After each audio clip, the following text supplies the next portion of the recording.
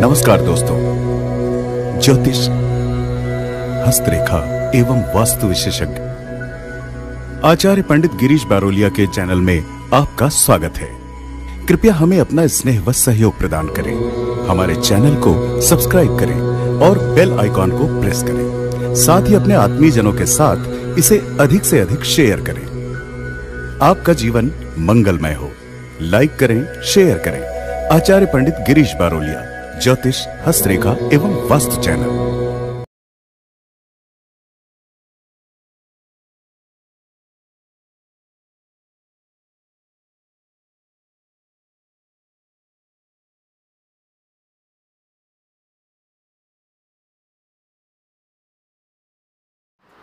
राधे राधे, जय श्री कृष्णा, नमस्कार, मैं आचार्य पंडित गिरीश बारोलिया, गायत्री महामंत्र। ॐ भूर्भुवः स्वः तत्सवितुर्वरेण्यं भर्गो देवस्य धीमहि धियो यो नः प्रचोदयात्। अखण्डमण्डलाकारं व्याप्तं येन चराचरं तत्पदं दर्शितं येन तस्मै श्रीगुरवे नमः। तस्मै श्रीगुरवे नमः। मित्रों, हम कई लोगों को देखते हैं हमारे आसपास, जिनके अंदर इतना ज़्यादा प्रभाव होता है कि वो जब किसी व्यक्ति से मिलते हैं या किसी से व्यक्ति से बात करते हैं तो उनकी बात का भजन पड़ता है। तो यह इनमें एक व्यक्तित्व किसी किसी में प्रारब्ध से ही आता है। अब आपके अंदर यदि नहीं है तो कुछ मंत्र हमारे शास्त्रों में इस प्रकार से बताए गए हैं कि यदि आप नियमित रूप से उन मंत्रों का जाप करते हैं तो आपके अंदर जो है एक आकर्षण शक्ति बढ़ती है। आपके सौंदर्य में वृद्धि होती है, आप स्त्री हों या पुरुष हों, आपके सौंदर्य में वृद्धि होती है। आपके व्यक्तित्व में एक प्रकार का आकर्षण आता है कि दूसरा व्यक्ति देखते ही साथ आपके प्रति आकर्षित हो जाता है। तो आज हम ऐसे इस मंत्र के बारे में बताने के लिए जा रहे हैं। इसके बारे में हमने पहले ही बताया, लेकिन आज हम आपको बताने के लिए जा रहे हैं कि इस मंत्र को आप किस प्रकार से सिद्ध कर सकते हैं। आप इस मंत्र का प्रयोग किस प्रकार से कर सकते हैं। तो सबसे पहले तो हम आपको कुछ बता दें कि इन मंत्रों का आपको गलत इस्तेमाल नहीं करना चाहिए। एक बहन का कल फ़ोन आया था उन्होंने बताया कि हमने इसका एक बार उपयोग किया तो हमें फलित हुआ। लेकिन जब दूसरी बार हमने दूसरे को आकर्षित करने के लिए किया तो फिर उनके घर में कई प्रकार की परेशानियाँ पैदा हो गई।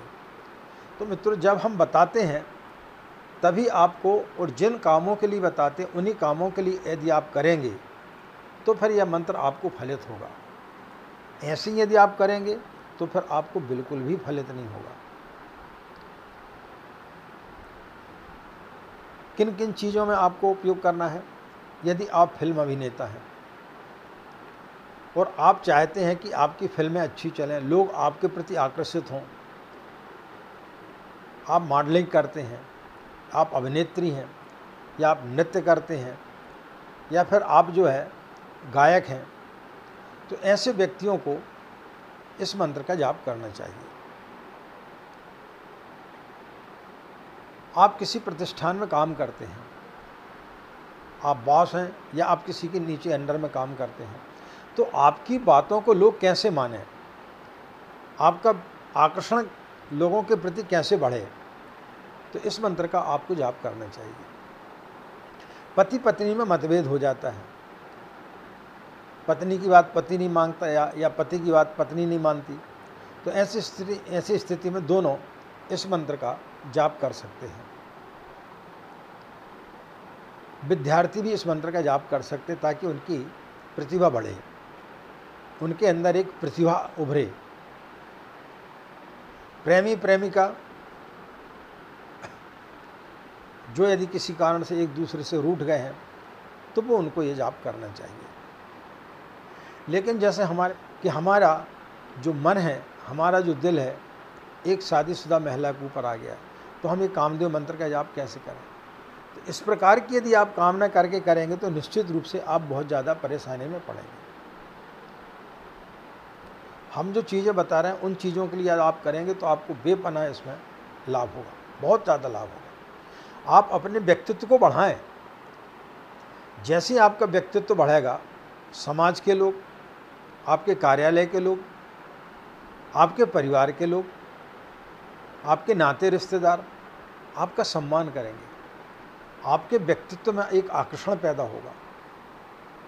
आपको किसी को आकर्षित करने की आवश्यकता नहीं होगी। स्वयं लोग आपसे आकर्षित होंगे। यदि आपके घर में पति पत्नी में आपसी कलह चल रहा है, तलाक की स्थिति आ गई और आप नहीं चाहते तो फिर आपको इस मंत्र का जाप करना चाहिए। आप नेता हैं और आप चाहते हैं कि पब्लिक के ऊपर आपका अट्रैक्शन हो, पब्लिक के ऊपर आपकी बातों का असर पड़े तो आपको इस मंत्र का जाप करना चाहिए। आप अभिनय क्षेत्र में हैं और आप चाहते हैं कि पब्लिक में आपकी इमेज बने, आपका व्यक्तित्व में निखार आए तो फिर आपको इस मंत्र का जाप करना चाहिए। तो निश्चित रूप से आपको इन सब चीज़ों में सफलता प्राप्त होगी। लेकिन अन्यत्र आप किसी महिला को आकर्षित करने के लिए, किसी पुरुष को आकर्षित करने के लिए एक तरफा प्रेम में यदि आप करते हैं तो उसके लिए हम आपको मना करेंगे कि इस चीज़ के लिए मत। बहुत सारी चीज़ें बता रहे हैं जिनके लिए आप कर सकते हैं। आपका लड़का आपकी बात नहीं मानता, आपकी पत्नी आपकी बात नहीं मानती, आप इस मंत्र का जाप करके देखिए। या आपके अधीनस्थ कर्मचारी आपकी बात नहीं मानते, या आपका बॉस आपकी बात नहीं मानता तो आप इस मंत्र का आप उपयोग कर सकते हैं। इस मंत्र को यदि आप साधारण तरीके से करना चाहते हैं तो नित्य आपको एक माला सुबह और एक माला आपको शाम के इस मंत्र का जाप करना चाहिए। ओम क्लीं काम देवाय नमः। ओम क्लीं काम देवाय नमः। इस मंत्र का आप यदि सुबह और शाम यदि आप इसका जाप करते हैं तो आपके व्यक्तित्व में बेहतरीन तरीके से निखार आएगा। अब यदि आप चाहते हैं कि यह मंत्र हमें सिद्ध हो और आपके व्यक्तित्व में इतना ज़्यादा निखार आ जाए, आपके जीवन में किसी प्रकार की कोई भी परेशानी ना रहे, लोग आपसे आकर्षित हों, चाहे आप राजनीतिक क्षेत्र में हों, आप फ़िल्म जगत में हों, या आप किसी भी ऐसे फ़ील्ड में हों, आप नौकरी में हों तो फिर आप इस मंत्र का जाप करें तो निश्चित रूप से आपके अधीनस्थ कर्मचारी आपके प्रति आकर्षित होंगे। पति पत्नी हो, प्रेमी प्रेमिका हो, उन्हें इन मंत्र का जाप करना चाहिए। आपको करना क्या है?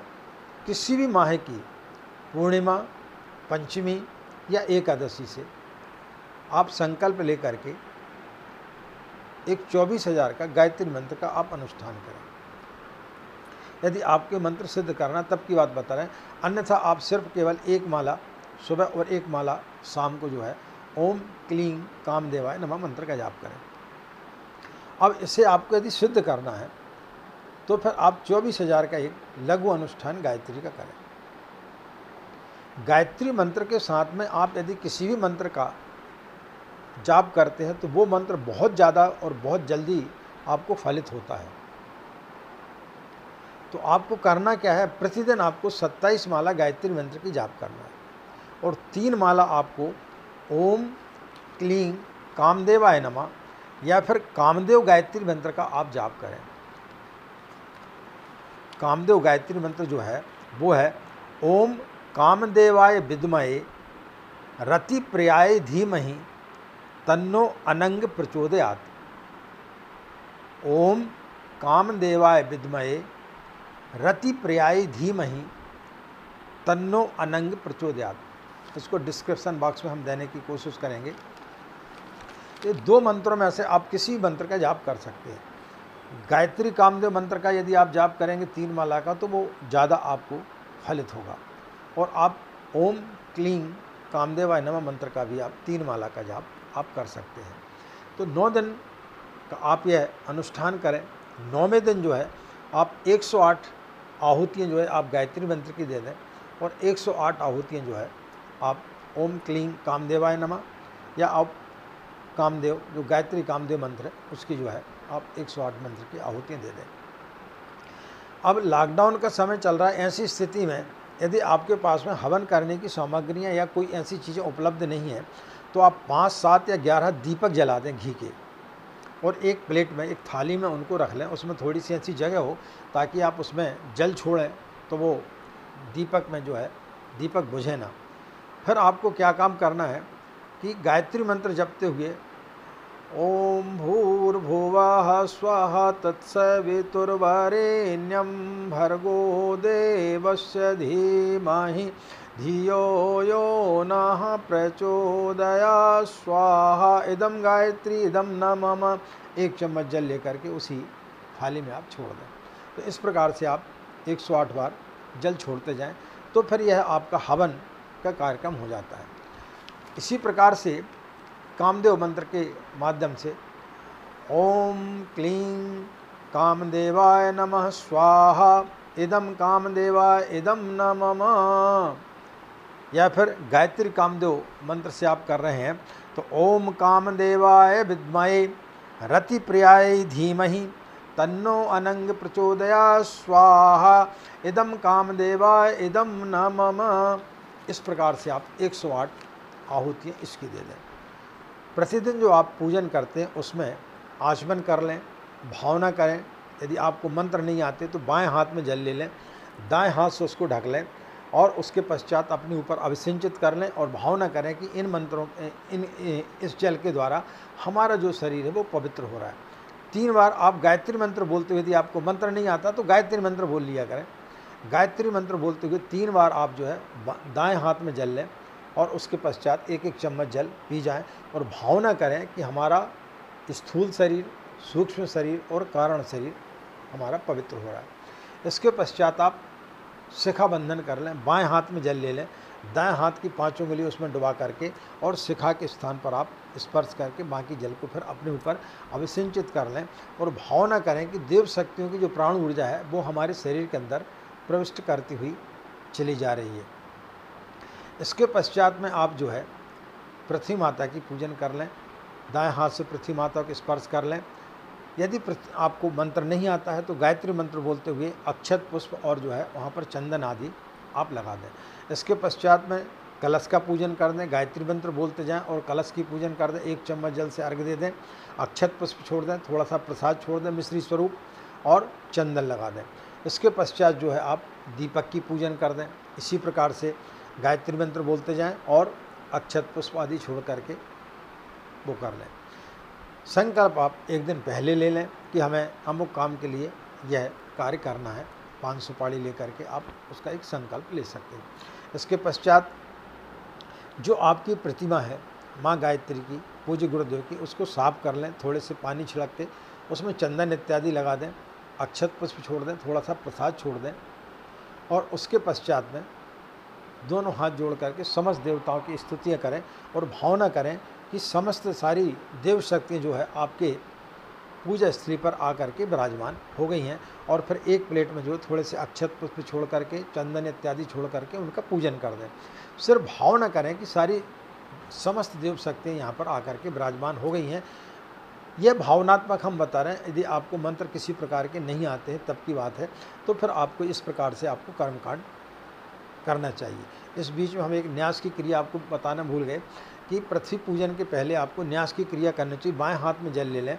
दाएँ हाथ की पाँच उंगली उठा डुबा करके दाएँ से बाएँ को पहले मुख को, फिर नासिका के छिद्रों को, फिर आँखों को, कानों को, दोनों भुजाओं को और फिर इसके बाद दोनों जंघों में स्पर्श करके और समस्त जल को अपने ऊपर अभिसिंचित कर लेना चाहिए।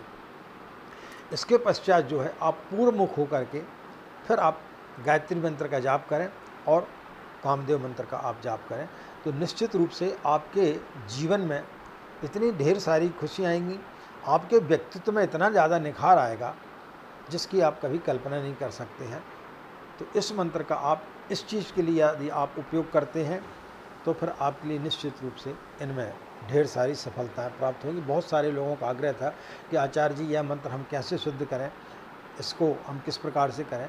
तो आज हमने फिर आपके लिए यह मंत्र बताने का की कोशिश की है कि इस मंत्र का यदि आप इस तरीके से करते हैं तो फिर आपको निश्चित रूप से आशातीत इसमें सफलता प्राप्त होगी। इन्हीं कामनाओं के साथ में कि आपका दिन मंगल में हो, आप लोग खुश रहें, मस्त रहें। माँ गायत्री का सीम कृपा इसी प्रकार आप लोगों पर बनी रहे। हमें आज्ञा दें। नमस्कार।